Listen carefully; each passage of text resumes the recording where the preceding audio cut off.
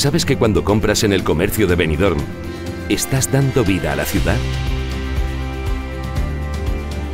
El comercio local es un vecino más. Te da una atención personal y variedad y calidad en sus productos. El comercio local está siempre cerca de ti y te hace sentir como en casa. Compra en el comercio local y haz grande tu ciudad. Es un mensaje de la Concejalía de Comercio y Consumo, Ayuntamiento de Benidorm.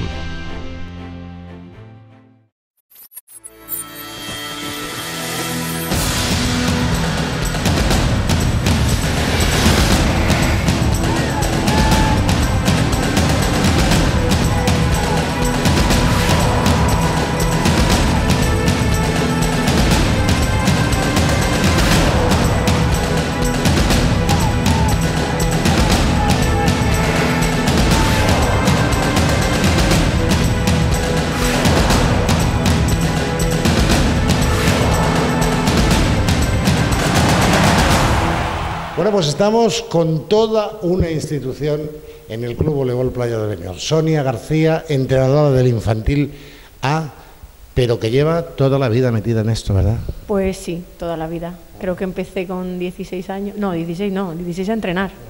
Con 11 años así empecé a jugar y desde entonces no, no lo he dejado.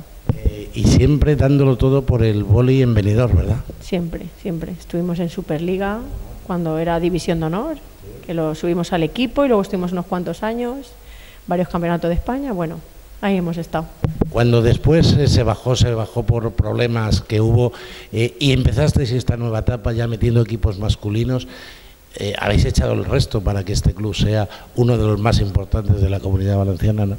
Sí, la verdad que, que, que son uno, somos uno de los más importantes de la comunidad y, y se intentó todo porque viendo que bueno yo me- yo terminé muy enfadada cuando el equipo bajó porque para mí es, era mi yo lo subí entonces que unas chicas que vienen aquí que están cobrando un dinero les da igual y bajen el equipo yo lo sufrí mucho. Entonces cuando se ha vuelto a subir pues la verdad que ahora estamos muy bien. El grupo técnico de técnicos también es muy es muy humano muy somos todos como muy amigos muy y se puede trabajar genial y eso hace que todo vaya vaya rodado De todas maneras, por ejemplo, eh, en ese antiguo equipo que estaba en Superliga y ahora en el equipo que está eh, el, el senior eh, femenino, es diferente porque las chicas de aquí, viven en el club, ¿no? No es como antes que se tenía que traer eh, gente que a lo mejor no le daba igual el escudo de- del club, ¿no? Claro, porque cuando empezamos eh, al principio en el Superliga éramos casi todas de la casa y dos extranjeras, pero claro,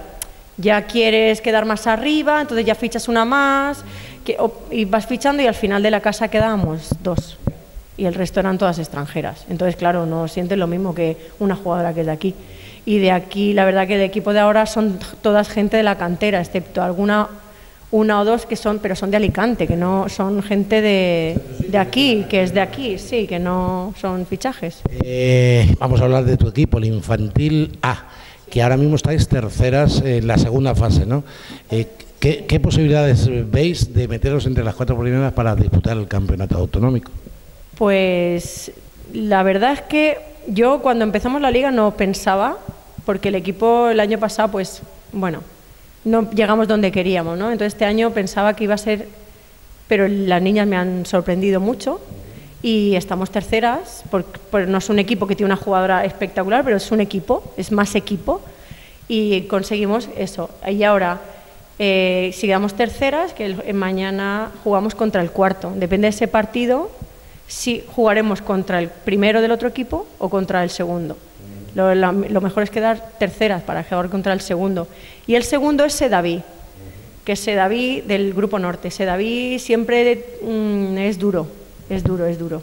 Tienen dos niñas altas y es duro. Entonces, bueno, nosotras pondremos toda la carne en el asador y esperemos que sí, esperemos que sí. Ahora mismo el Club Voleibol Playas de Benidorm, ¿en qué posición le pondrías en la comunidad valenciana? A ver, yo no sé, yo creo que para mí es el primero. ¿Qué quieres que te diga? Para mí es el primero. Pero también es cierto que está Castellón, que tiene equipos en Superliga, que está Elche, que también tiene muchos equipos en Superliga, en categorías arriba, y esos son, a lo mejor Sativa también está ahí, pero para mí, ya te digo, no tenemos equipos muy arriba, pero sí tenemos una, una base muy sólida, que yo creo que otros equipos pues a lo mejor no la tienen tanto.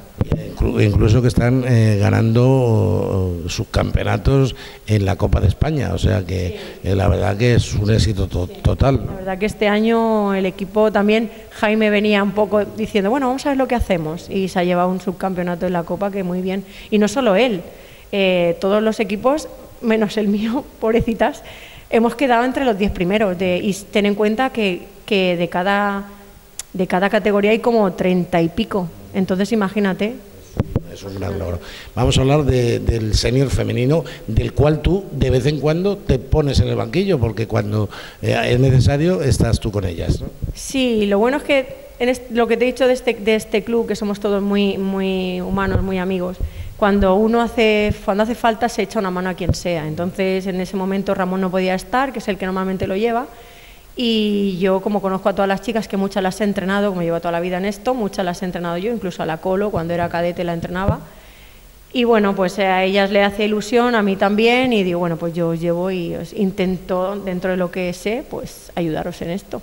Es más fácil, eh, porque tu marido es el coordinador de, general del club, es más fácil para un matrimonio estar los dos todo el día pendientes de, de esto que si, por ejemplo, tú estuvieras en casa y Ramón aquí todo el día. Sí, es mucho más fácil, además él lo, dice y lo decimos siempre, él está ahí gracias a que yo estoy metida en esto, porque eh, otras parejas pues no pueden estar tan metidos, porque claro, el que no está metido no entiende que su marido o su mujer esté todo el día, que si mirando el Facebook, que si metiendo, que si ahora tengo que bajar a ver un equipo, ahora el otro, no lo entienden. Y como los dos estamos metidos muy de lleno, pues Eso me pasa a mí con mi mujer, que eh, se sabe los nombres de los jugadores de, de, todo, más que yo, porque como yo trabajo en casa y estoy todo el día comentándolo con ella, pues me pasa, tampoco tengo ningún problema.